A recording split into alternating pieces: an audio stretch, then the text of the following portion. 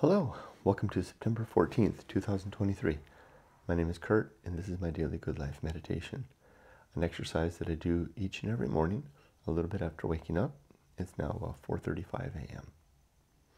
I do this to remember my life objectives and principles, those which are outlined in my book, Going Alone. I also use this time to think about the last 24 hours, including last night, to think about the challenges and opportunities that I met and how I handled them. I also plan for the coming day to ready myself for the challenges and opportunities that I can foresee, and very importantly, to prepare myself, steel myself for the uh, unexpected. I conclude by uh, checking if I'm ready for death. But before I do any of that, I'll read a poem. Sticking with uh, Edward Thomas, I'm going to simply reread the poem yesterday that uh, moved me so much.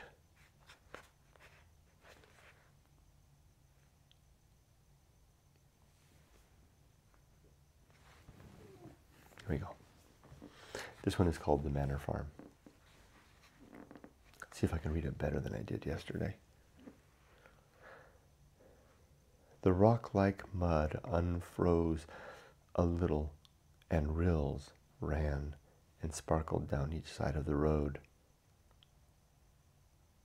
Under the catkins wagging in the hedge, but earth would have her sleep out, spite of the sun nor did I value that thin, gliding, gilt, thin, gilding beam. Let me try this again. I'm. I should look for the punctuation. There is a period there. Hmm. The rock-like, the rock-like mud unfroze a little, and rills ran and sparkled down each side of the road under the catkins wagging in the hedge. But earth would, would have her sleep out, spite of the sun. Nor did I value that thin gilding beam more than a pretty February thing, till I came down to the old manor farm, and church and yew tree opposite, in age its equal in age its equals and in size. The church and the yew and farmhouse slept in a Sunday silentness. The air raised not a straw. The steep farm roof, with tiles duskily growing, glowing, entertained the midday sun, and up and down the roof white pigeons nestled. There was no sound but one.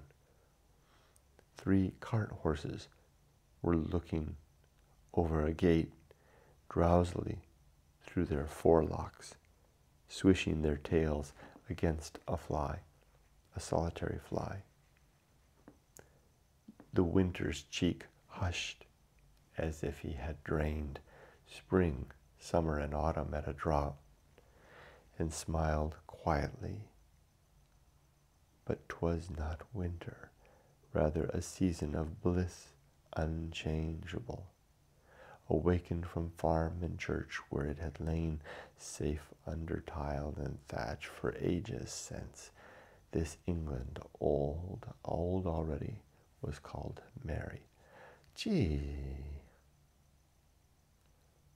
And now I get it. It's a, it's a, it's a tableau. It's a still life. Well, with horse, horses' tails of the uh, morning in February everything kind of frozen with sun just come up. But yet, not a season, not a winter, but uh, what did he describe it? Rather, a season of bliss unchangeable. I've known those days.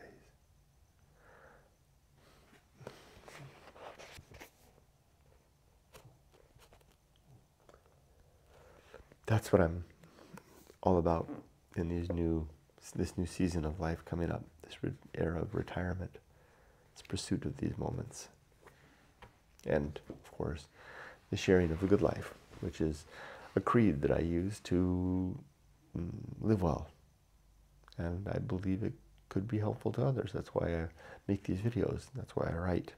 That's why I share. Let's do the creed. There are eight objectives and 34 principles. The objectives are the things I'm striving for. They are to be always ready to die, to make good and effective use of my time, to develop and maintain good and sound principles, to cultivate good emotional reactions, to perform good actions, to recognize true limits and true opportunities, to do just one thing at a time and do that thing slowly and deliberately and carefully. And to uh, maintain my balance at all times. Now, I found something to augment, to add to the principle of the objective of balance. You know, I like I, I've got a picture of that had AI generated of a man walking on a tightrope, not even no bar, just walking on a tightrope in the clouds maintaining balance through life. And then I found this passage, this quote from Dr. Johnson. I'm, I'm reading uh, Boswell's um, Presumptuous Task. Let's see if I can find it. It's just back here. I highlighted it in yellow.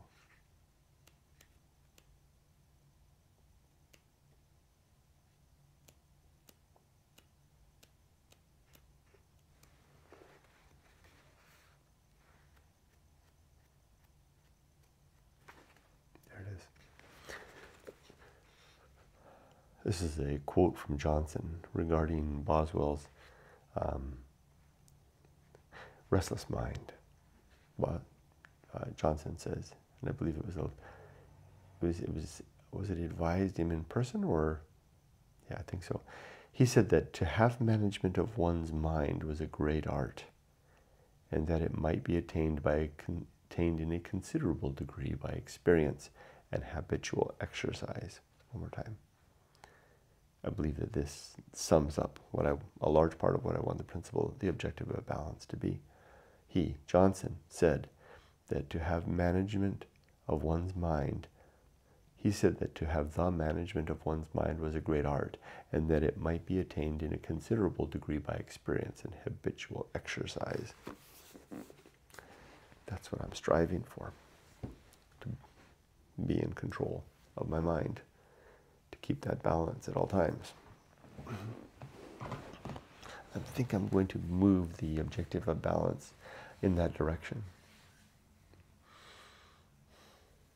Like when I'm having a tough day. Like yesterday was a bit of a tough day, and today might be a little bit of a tough day to control and regulate my thoughts and my actions accordingly. Keep balance. Be the master of my mind.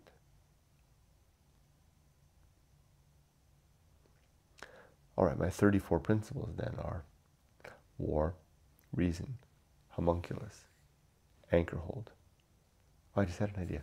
So I'll add, I know what I'll do. I'll add that quote to going alone as a part of the, uh, just ahead of the principle of balance, of the objective of balance. There you go. I'll do that today, actually. Back with the 34. War, reason, homunculus, anchor hold, home of good and evil, purpose, atomic principle, principle of nature, the pirate ride, maturity, social principle, principle of family, public speaking, distraction, agency, and the great indifference. No. Temperance.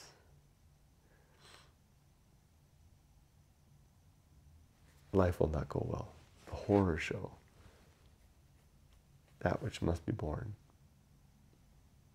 the feast of offal, distraction, agency, and the great indifference, the best seat in the house, the restless man, the path of wildness, the great life adventure, the risk of avoiding risk, sin and damnation, complete oblivion, the season of philosophy, script writing, the bullseye aim, the uphill climb, arena and utility, nothing is enough, and the principle of fun.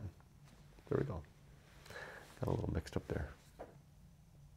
But I kept my balance and stepped back a few steps and started again. Okay, as for today, it's a Thursday. I've got a good day of work ahead of me. I'm going to be uh, working on a, today. I've got another new project that's kind of my focus, and I'll be sitting in on a, a, a testing meeting for that, which I'll do. Kind of this week has all been a week of observation.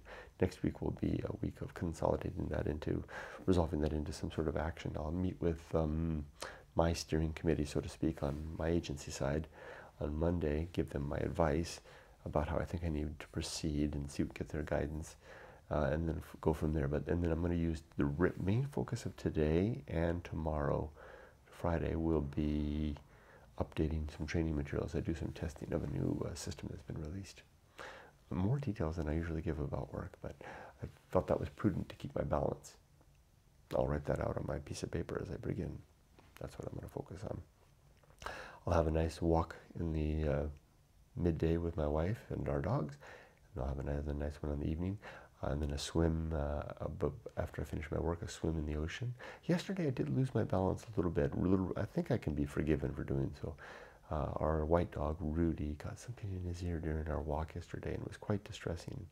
And I could feel myself, my anxiousness as I was trying to figure out, you know, hold him and try to figure out what was in his ear. It turned out there was nothing there, or at least I couldn't find anything. Excuse me. And I was contemplating an emergency trip to the vet in the evening. And I stopped for a second as Yumiko fed the dogs. And I calmed myself. I reconstituted my balance. I handled it better. That's where it happens. That's where my weakness is. Things just ambush me. Circumstance that I'm not expecting like that and I kind of lose control just a little bit, or I get flustered and upset, just like my father used to do. I think I got on top of it yesterday better than I usually do, though. Hmm. It's this sense of the weight and responsibility. I feel like, I feel like it just it all settles on my shoulders, and I need to remember to share that with my wife. She doesn't do that to me. She doesn't expect me to. Um, to solve all the problems. In fact, she's very good at solving problems. But I maybe I feel some sort of an obligation being a man, you know, the man of the house, so to speak, to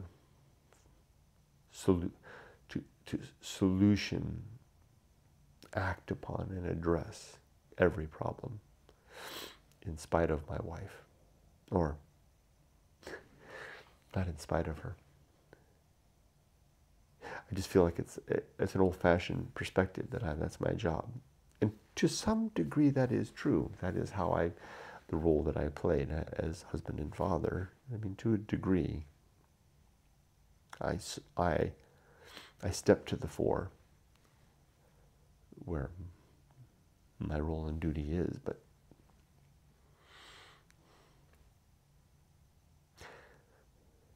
tricky wild line, isn't it? I mean, there's there's like emergency situations where you need to step to the fore to take care of stuff. And then there's more deliberate situations where uh, I need to conspire. I need to work in, in conspire in the best sense with my wife on solutions. In nearly all cases, most cases, it's the latter. I need to remember that. She'll let me run with it. It's I don't know exactly where that comes from, but she will. Although I'm sure she would appreciate. Maybe that's part of our agreement, right? Perhaps. Interesting thoughts. Anyway, that was yeah, yes, that was yesterday. Uh, so today, I think I'm going to maintain my balance better and plan out the day. I know what I'm going to be doing with regard to my work. I know what today will what will constitute a successful day if it would be great if I, between today and tomorrow I can get through that testing and updating of the documentation. That would be spot on. Hmm. Hmm. Hmm. Hmm. Hmm. hmm. I can do it. Anything else? I think. Oh, death. Am I ready to die? Are my are three criteria: affairs in order, relationship sound, and life's work complete. Are my affairs in order? Absolutely. Is my are my relationships sound? Yes. Is my life's work complete? Done and finished. I can uh, check out any moment without a single longing backwards glance. Funny thing yesterday. I wanted to say, I was talking about that. Yumiko and I had were having a lot of fun talking about our new lives that we'll live in Japan, assuming we live. You know, we both have medical issues now. um, uh, um, another tumor found in me, tumor-like thing, but I think I know what it is now. May not be a tumor at all, but I'm getting a, a test next week to find out. Anyway, um, and something scary for Yumiko too, but her initial doctor's opinion is that it's not bad. But she's getting a, she's getting a deeper look too. We're both doing exactly the same thing. So um, we were walking yesterday and talking about our our our lives after retirement in Japan. And Yumiko's, we we want to do things. We want to have fun and we want to make money uh, doing social media and online. Yumiko's making an online store to sell her shirt designs, and she's doing a bang up job. She's just kicking butt.